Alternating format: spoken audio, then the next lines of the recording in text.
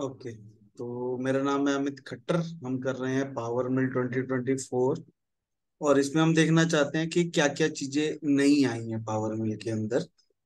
तो पिछले ट्यूटोरियल में हमने देखा कि फ्लो लाइन फिनिशिंग में अगर मेरे पास दो कर्व हैं तो उसको बड़े आराम से मैं चला सकता हूँ फ्लो लाइन फिनिशिंग में, जो पहले नहीं हो सकता। पर इसमें एक फ्लो लाइन फिनिशिंग में टोटली नई बिल्कुल चीज़ आई है, वो है स्पायरल की। तो देखते हैं कैसे होगा। तो सबसे पहले हमने एक ब्लॉक तो चाहिए हमारे को कोऑर्डिनेट सिस्टम भी चाहिए। एक और चीज़ हमने देखी थी कि एनएक्स की अगर आप फ़ाइल पावर मिल में लेके आते हो तो मॉडल के साथ साथ उसके कोऑर्डिनेट सिस्टम भी आ जाते हैं। तो ये भी एक अच्छी चीज़ नहीं आई है अगर मेरे को एनएक्स का मॉडल लेके आएँगे तो कोऑर्डिनेट सिस्टम भी आ जाएगा साथ में उसके। तो मुझे यहाँ पे आके नए सिरे से क्रिएट नहीं करना पड़ेगा ठीक है? तो कोऑर्डिनेट सिस्टम को यूज़ कर सकते हैं। उसके बाद हमारे को एक टूल चाहिए फिनिशिंग के लिए। तो हमने कहा जी हमारे को छह एम mm का टूल चाहिए। होल्डर भी चाहिए। और इसका अच्छा सा नाम दे दो। बॉल मिल सिक्स ठीक है। तो इसका हमने नाम दे दिया, टूल आ गया।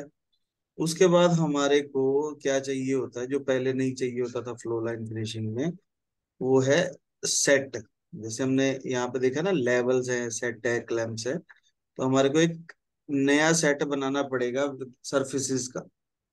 तो मैंने कहा जी मुझे ये तीन सरफेसेस जो हैं, मैंने शिफ्ट दबा के सिलेक्ट कर ली चार। ठीक है? और इसको सेट के अंदर एक्वायर कर लिया राइट क्लिक करके एक्वायर कर लिया। तो ये मेरा मॉडल बंद कर दिया तो ये मेरी सरफेस है, जिसके ऊपर मैं मशीनिंग करना चाहता हूँ। ठीक है? तो पहले क्या होता था, ऐसी सरफेस के ऊपर मैं फ्लो लाइन फिनिशिंग नहीं चला सकता था, क्योंकि उसको गाइड कर भी चाहिए होती थी साइड वाली कर्व्स भी चाहिए होती अब क्या है कि अब हम दो पैटर्न बनाएँगे पहले एक ही पैटर्न से काम चल जाता होता था। अब हमारे को दो पैटर्न क्रिएट करने पड़ेंगे। एक स्टार्टिंग के लिए और एक एंड के लिए। ठीक है? यानी कि उसको एक स्टार्टिंग कर्व बतानी है, एक एंड कर्व बतानी है। तो स्टार्टिंग कर्व कैसे बताएँगे? राइट क्लिक करो। कर्व एडिटर में जाओ।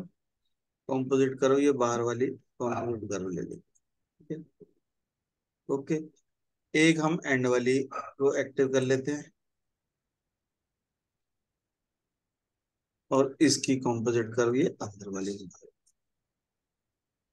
ठीक है? तो ये अंडरकट्स वगैरह में भी चलेगा। जितनी मुझे समझ है मैंने अभी चला के नहीं देखा, पर मेरे को काफ़ी हद तक उम्मीद है कि ये अंडरकट में भी चलेगा। तो टूल पाथ में जाएँगे फ्लो लाइन फिनिशिंग में जाएँगे ओके करेंगे। ठीक है, यहाँ पे दो ऑप्शन आ रही है ऑन सरफेस चलाना है या टूल टिप वाला चलाना है। ऑन सरफेस वही सेम है जो पहले हम चलाते होते थे, भी एक पैटर्न के साथ, है ना, सारा कुछ बना के अब ये नई ऑप्शन आई है टूल टिप की। इसमें क्या है, आप स्टार्टिंग कर्व बताओ एंड कर्व बताओ, और जो हमने सेट बनाया सरफेसेस का, वो बताओ। ठीक है वन वे डायरेक्शन में हम स्पाइरल चलाना चाहते हैं, एक एम के स्टेप ओवर के साथ। कैलकुलेट करेंगे तो जो हमारा सेट जितनी हमारी सरफेस है, उसके अंदर अंदर ही चलेगा स्पाइरल शेप तो यानी कि ऊपर वाली स्टार्टिंग कर्व को मेंटेन करेगा एंड कर्व को मेंटेन करेगा और टूल पाथ क्रिएट करेगा। बाकी सॉफ्टवेयर में इसको बोलते हैं मॉर्फ मॉर्फ मास्टर कैम है जो मास्टर कैम में मॉर्फ का टूल पाथ होता है। एनएक्स के अंदर कंटूर कंटूर एरिया के अंदर एरिया मिलिंग सॉरी तो कंटूर एरिया के अंदर एरिया मिलिंग ये बढ़िया चल गया, देखो। ठीक है, इसको हम चला के देख सकते हैं सिमुलेट करके देख सकते हैं। राइट क्लिक करो सिमुलेट फ्रॉम स्टार्ट स्पीड थोड़ी स्लो कर लेते हैं।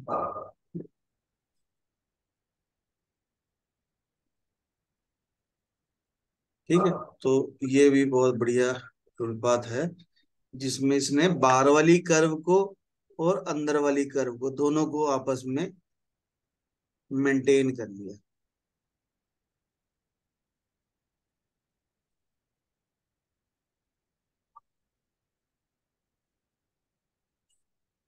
ठीक है, और वहाँ तक जाते जाते जाते जाते वो अपनी शेप भी चेंज करता जा रहा है टूल पार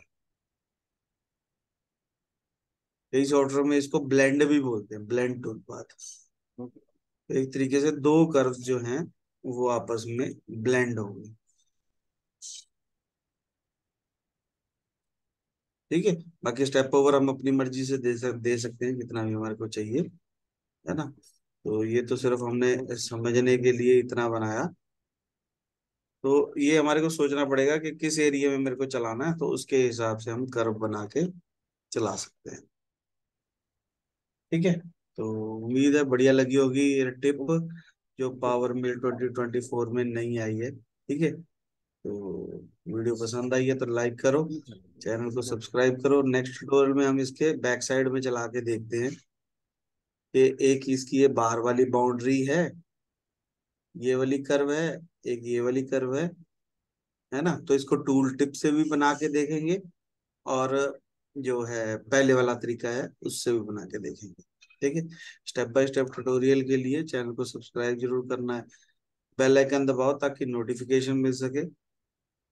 वीडियो पसंद आए तो लाइक करो चैनल को सब्सक्राइब करो, सबके साथ शेयर करो।